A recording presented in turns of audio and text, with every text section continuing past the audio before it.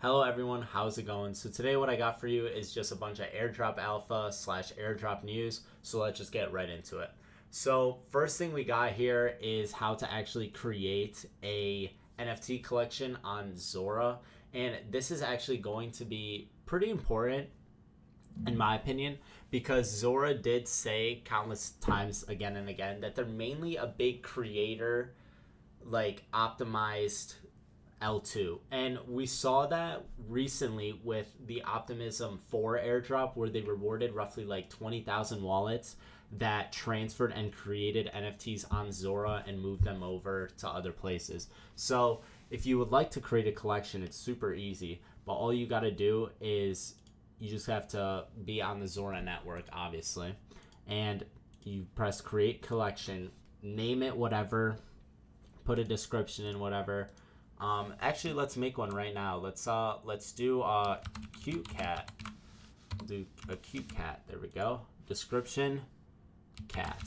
Cool. And then we'll just select a file. All right. So after you get your picture and everything, obviously you want to press save. Oh, and if you don't have funds already on Zora, you could easily use Orbiter to just transfer it over. And you also qualify for orbiter airdrop when you do this, so that's nice. But obviously we'll press wait what? Oh okay okay okay. So the image goes here. My apologies. So there we go. And then the, I'll just do the same picture as the collection. Um, let's see. View advanced options. So you could put like price, right? So we'll just put point zero point zero zero zero zero one. Um, mint duration we'll do like a month. That's fine. Mint first editions earn extra rewards. That's kind of cool. Um, description. Cats. So yeah, obviously you fill all this now, right? Fill all this unlimited. We'll just do unlimited. Um, yeah, so we'll put the name as Mikado because that's my cat's name. But on it, I actually so you have to make the collection first, obviously. Then you put your cat in there, right? Or not cat, but like your NFT. Yeah, yeah. And then obviously you press create. So this will set you as a creator on Zora. So obviously doing this will, as you can see there, set up a transaction that sets up a mint for my NFT. Now it's just gonna set up the mint page here. All right, and then after that, this will come up like your collection and everything. So if you guys want to mint this, then you can. It's literally 0.00001 E, so it's virtually nothing. I'll just leave the thing in the description. But it also does give you another transaction on Zora. But here's another thing, very similar. So you can just mint um, something on Zora, or you could do it on Blast. So you're you could qualify for Zora and Blast doing this. I'm personally gonna do it on both. But all you gotta do, press mint. This is virtually a free mint too, so it's like all you have to worry about is gas here. And yeah, transaction, there you go. Oh yeah, by the way, gwei is super, super high right now. It's at, should show up here, 188 in the bear market when I was transacting, this thing was at like 15, 20 on the daily. And that that just goes to show we're definitely in a in a bull market now. But there we go, like just like that, mint. Another thing right here on ZK Sync, we're minting more NFTs, okay? But this is actually the first time that you could mint NFTs with the Paymaster feature. And I did make a Paymaster video before. I'll leave that in the description below but I believe Paymaster is going to be really big for ZK Sync. And I still don't think they took their snapshot, mainly because I think they're going to do it on their one year anniversary of ZK Sync Era Mainnet, which I believe is um, March 24th. But this is really easy. So you could use Hold USDC or USDT. Hold gives you a 50% discount. So you already know I'm going to do that. All you got to do here, literally press Mint. Make sure uh, Hold is up here so you're using hold as your gas token. You sign that, and then boom, there you go. Next thing we got is there actually is a meme coin on like the Cosmos ecosystem, and how you're eligible for this is your stake is if you're staking on any of these any of these chains here. So this is just a this is just a checker to see if you are a or eligible for it. Paste your address in here, check status. You don't have to sign anything, no transactions, so it's safe. And you see however much allocation you have. I'll give more info when this does eventually come out. Am I bullish on this? Mm, kind of, but there really is no meme community on Cosmos yet. Not yet, but I believe it'll eventually happen because the inscription and NFT marketplace is actually starting to to pick up some traction on Cosmos via the Asteroid protocol like website that they and marketplace that they got going on. So I I actually am kind of bullish on this, and since it's free, if you're already staking and whatnot, then might as well. You know what I'm saying?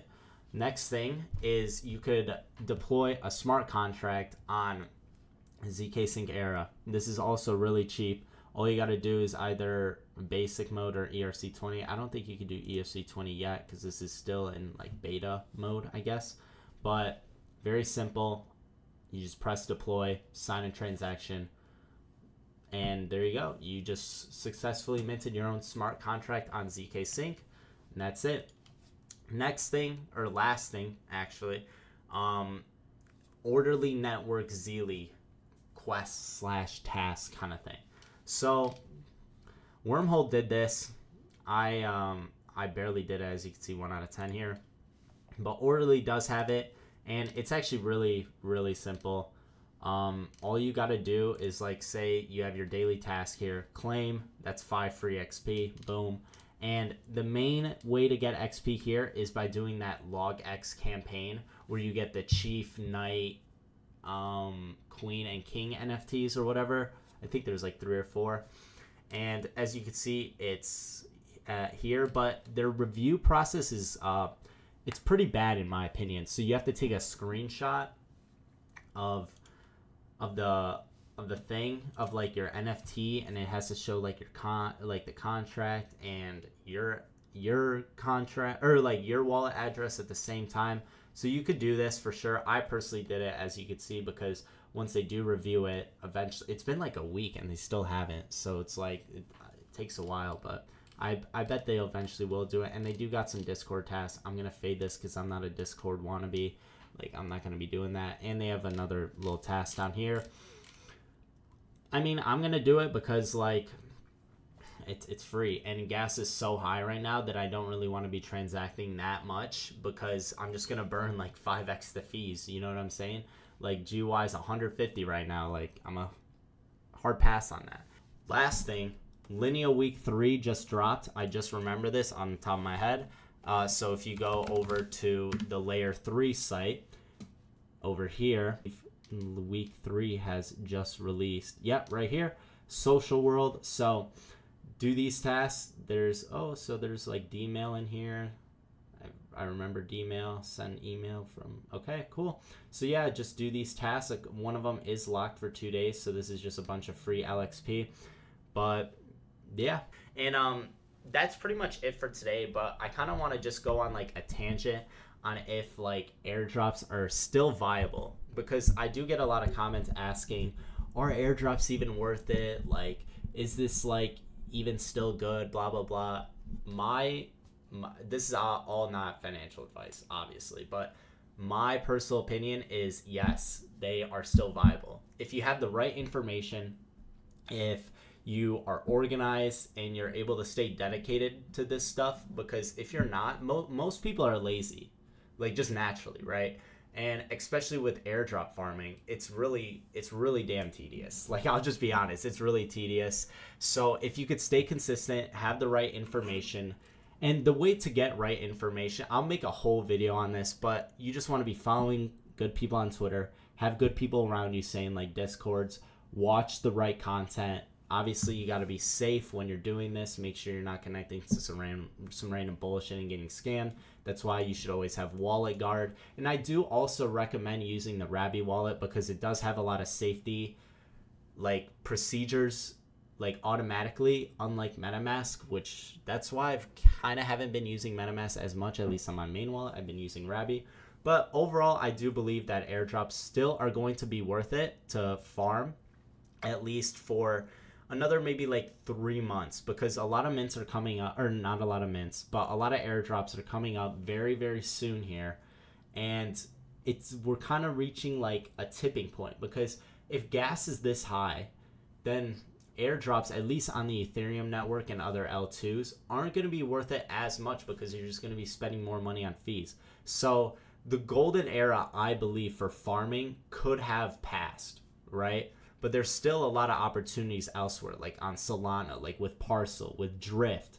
And I have videos on all that in my or in my catalog of videos and especially uh, in the airdrop playlist that in the airdrop tutorial playlist that I have. So these other networks or these other L1s like Aptos for example, I'm really bullish on Aptos because it's completely separated from Ethereum and these horrid gas fees. Like we know there's a lot of there's a lot of native bridging going on with ETH where protocols like it when you go from ETH to their their net respective network, their L2 or whatnot.